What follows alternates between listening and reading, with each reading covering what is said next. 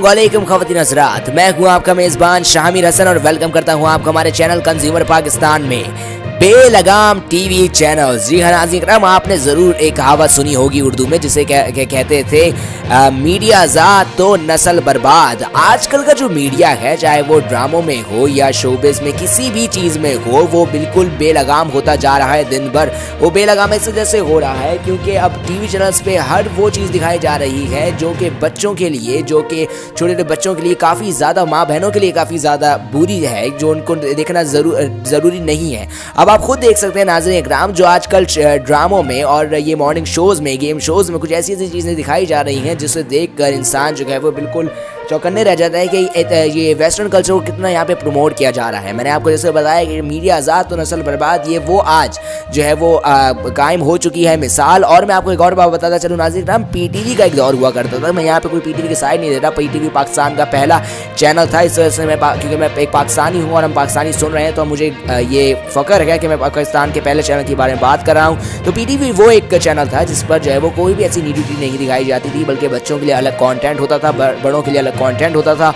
और जो एक फैमिली माहौल में जो है वो दिखाए जाने वाले शो हुआ करते थे एनक वाला जिन बच्चों का फेवरेट रहा है, उसमें और भी बहुत सारे ड्रामे हुआ करते थे, जिसमें मोहन अख्तर साहब अदाकारी करा करते थे, और उस अदाकारी को बच्चे भी देख सकते थे, बूढ़े जवान सब देख सकते थे, एक फैमिली शो हुआ करता था। लेकिन अब मॉर्निंग शो हो जाए, या फिर आपके लिए ड्रामे हो जाए, इनमें इतनी न्यूनिटी फैलाई गई है कि नाजन इकराम, आप देख कर बिल्कुल हैरान रह जाएँगे और परेशान हो जाएँगे कि आने वाली नस्ल का अब क्या बनने वाला है।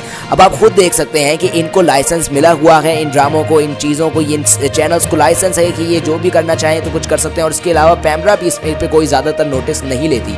मैं ऐसा नहीं कह रहा कि पैमरा बिल्कुल नोटिस नहीं लेती, लेकिन कभी कभी कुछ ऐसी बातें हैं जो ज़्यादा सामने रखी रखी जाए तो उससे ज़्यादा अच्छा होगा कि हर बंदे को जो है वो आपको क्रिटिसाइज़ करके आप उसको बैश करके सामने रखें ताकि उनको भी, उन पर भी जो है वो कार्रवाई हो सके और ये चीज़ें जो है वो रुक सकें।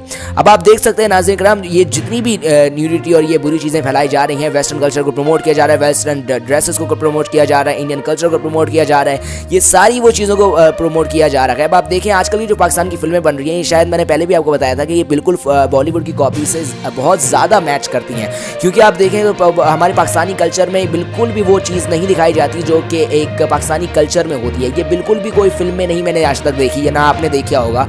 पाकिस्तान की चंद ही ऐसे फ़िल्में हैं जिनमें वो और वो, वो भी मेरे ख्याल में नाइन्टीज़ या दो हज़ार तक की फ़िल्में हैं लेकिन अब जो दो हज़ार बारह या दस से बन, बनना शुरू हुई हैं मेरे ख्याल में दो हज़ार चौदह से बनना शुरू हुई हैं फ़िल्में। और आप उन फ़िल्मों में देख सकते हैं कि किस तरह का इंडियन कल्चर प्रमोट किया जा रही है वेस्टर्न कल्चर को मिलाकर।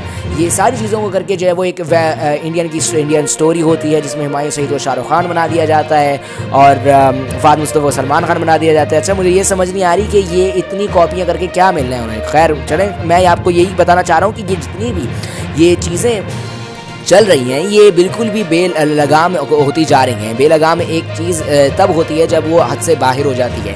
अब आप खुद देख सकते हैं कि ये जब चार, पाँच से आठ साल के बच्चों को जब ये सब कंटेंट दिखाया जाता है टीवी के ऊपर तो उनके दिमाग पर क्या असर पड़ता है? अब आप देखें, ड्रामों में हो जाए या फिर वो फ़िल्मों में हो जाए, ये हर तरह से जो है वो बिल्कुल अलग ही कपड़ों को मतलब वो छोटे कपड़ों को और वेस्टर्न जो हम कहते हैं ड्रेसेस को बिल्कुल प्रमोट किया जा रहा है वेस्टर्न क्लोथिंग को प्रमोट किया जा रहा है। पाकिस्तानी फ़िल्म इंडस्ट्री में और ड्रामा इंडस्ट्रीज़ में। इवन अब तो मॉर्निंग शो में भी ये बात बहुत आम हो चुकी है। अब नाजिन इक्राम, इस बात में मैं और क्या कह सकता हूँ? अब आप खुद देख सकते हैं कि जितनी भी ये चीज़ें चल रही हैं, इनका जो है वो एक हद यही है कि ये ज़्यादा जनरेशन का तो आधे से ज़्यादा दिमाग तबाह कर चुकी हैं और ये आगे बीच जाने के बाद ये जनरेशन का दिमाग तबाह कर देंगे। तो ये जितना भी सारा गंदा आटा है, इस पर जो है हमें हाथ चलाना चाहिए और हमें इस पर नोटिस करना चाहिए और हमें इसे क्रिटिसाइज़ करना चाहिए और हमारे बच्चों को इन सब चीज़ों से बचाना चाहिए। खैर नाजिन इक्राम, इस पर जो है वो इस वीडियो को शेयर कीजिएगा ताकि इस पर एक्शन लिया जा सके और चैनल को सब्सक्राइब भी कीजिएगा। मैं आपका मेज़बान शामिर हसन मिलता रहूँगा आपको ऐसी इंटरेस्टिंग और इन्फॉर्मेटिव वीडियोज़ में। आप चाहें तो हमारे चैनल के डिस्क्रिप्शन में जाकर फेसबुक लिंक होगा। वहाँ पर क्लिक करके आप हमारे पास आ सकते हैं और हमें जो है वो रिव्यूज़ दे सकते हैं अपने अगर आपके पास हैं तो। और कमेंट सेक्शन में बताएँ, आपको वीडियो कैसी लगी? सजेशंस भी कमेंट सेक्शन में आप देख सकते, दे सकते हैं या फिर फेसबुक पेज को विज़िट कीजिए। मैं आपका मेज़बान शामिर हसन, आप हमेशा खुश रहिए नाजिन इकराम। मैं आपको ऐसी वीडियो वीडियोज़ में मिलता रहूँगा। अल्लाह निगेबान।